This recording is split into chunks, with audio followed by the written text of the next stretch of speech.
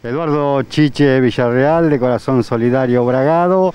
Eh, bueno, ha estado, eh, como hacen habitualmente, viajando eh, en forma solidaria al norte argentino.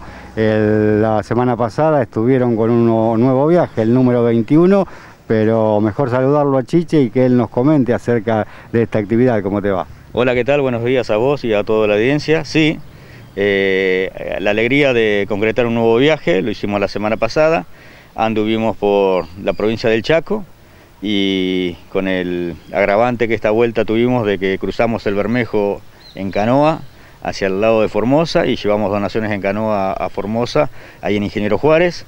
Eh, un viaje distinto, pero se logró el objetivo de visitar distintas comunidades Huichí del Chaco y como te dije también pudimos llegar a, Ingeniero Juárez Formosa.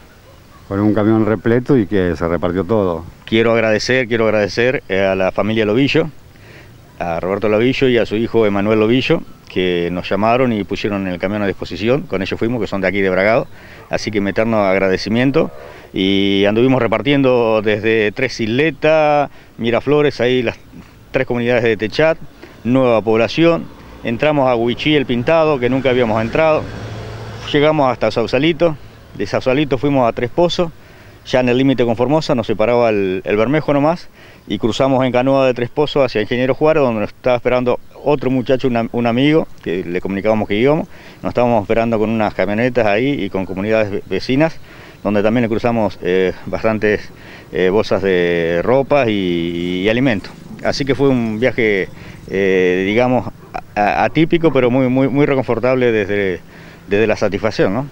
Por lo que he visto en las redes sociales, la gente como lo que los espera la gente de allá. Sí, sí, sí. Por eso es que cuando teníamos, teníamos todo listo el viaje, porque la Secretaría de Territorial y Ambiente de la provincia del Chaco se había comunicado y nos iban a mandar un camión del Chaco para venir a retirar las cosas acá. Nosotros teníamos pensado viajar el miércoles, pero a último momento nos habían dicho de que el camión no estaba, así que nos habíamos agarrado una gran desilusión. Y es por eso que agradezco a esta familia que se enteró de que nos faltaba el camión y, nos dio el camión. Eh, y bueno, con un camión completo acá salimos el sábado a la madrugada, en vez del miércoles, sábado a la madrugada. Así que el, programa que teníamos diagramado para, para las visitas lo, tuvimos que rearmar. Pero salió todo bien, gracias a Dios, camión completo, repartimos todo lo que llevábamos. Eh, si llevamos 10 camiones no alcanzan 10 camiones, pero eh, de un granito de arena se hace una, una montaña, ¿no? Así que todo, todo suma y feliz, feliz porque llegamos donde queríamos llegar. Eh, lo de la experiencia de cruzar el río en canoa, que es la primera de tantos viajes. Es la primera de tantos viajes. Te cuento cómo es la digamos, tres pozos del Chaco, a Ingeniero Juárez lo separa el río, hay 50 kilómetros de, distancia después del río.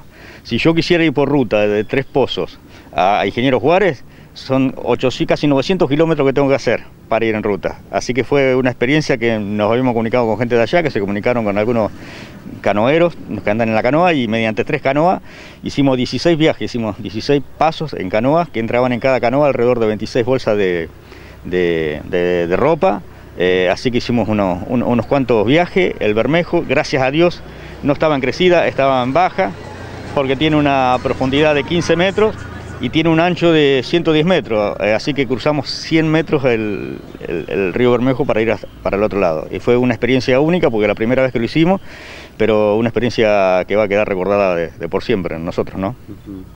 ¿Cuál es la sensación siendo, teniendo en cuenta que es la primera experiencia? Y la sensación La sensación personal, ¿no? Eh, del, deber cumplido, la satisfacción de, haberlo logrado. Eh, vos imaginate que si vamos por ruta, no solo en la demanda del combustible, porque son casi 900 kilómetros, son mucho el combustible que se necesita para ir, para ir, sino también la demanda del tiempo, y andábamos con el tiempo justo, pero el solo hecho de que uno veía por los videos cómo, se, cómo cruzaban en, en canoas, el Bermejo y esas cosas, y uno siempre decía, en algún momento lo voy a hacer. Y se dio, se dio. Era algo como que teníamos pendiente hacerlo y gracias a Dios lo, pudimos hacer. Eh, ¿Ya se piensa en el viaje 22? Estamos pensando en el viaje 22, como vos decís, en este año eh, se cumple 10 años de, nuestro, de mi primer viaje al, Impenetrable eh, y estamos pensando en un próximo viaje. La idea es ir a, un, a Catamarca, a una escuela ahí en la precordillera, en el Tolar, una escuela donde no tiene camino, donde hace años que viene hay una comunidad ahí, donde hace años que viene luchando esa comunidad para que la provincia le haga un camino. La única forma, la ciudad más cercana es Belén. La única forma de llegar a, esa comunidad es intermedio de caballos o mula a través de sendero, porque ni motos pueden andar por ahí. Así que es otra experiencia que tenemos pendiente, es un viaje que lo queríamos hacer hace tres años y por el tema del COVID no lo, no lo pudimos realizar. Si no se daba lo del Chaco, queríamos ir eh, para, para, para, ganar un viaje solidario, ¿no? Me había comunicado con la maestra de esa, de, esa escuela, pero no se podía en esta época porque están los deshielos eh, y, cortan los senderos, ¿no?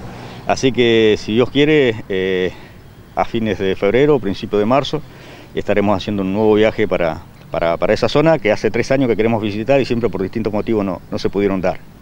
Es una escuela, vuelvo a decir, donde hace años viene luchando por intermedio de la provincia para que le hagan un camino, donde el solo hecho de llegar a Loma de Burro o Caballo se tarda alrededor de 12 horas desde Belén para llegar a la comunidad y a veces eh, se lastiman o se quiebran y, hemos visto que han bajado en camilla eh, caminando y han tardado como 17 horas por el sendero. Parece mentira, ¿no? Pero es Argentina. Eh, así que esa zona inhóspita también, también veremos si vamos a llegar. ¿Algo más, Chiche? Agradecerles, agradecerle a, toda la comunidad de Bragado que siempre nos está dando una mano, decirles nuevamente de que hay un bono contribución que está en la calle de 200 pesos eh, para poder pagar el depósito donde estamos aquí, que tengo a mi espalda, donde sale más de 20 mil pesos por mes, eh, y para sustentar el, el próximo viaje, que este domingo vamos a hacer una venta de pollos asados, vamos a hacer una venta de pollos asados también con el mismo destino de recaudar fondo.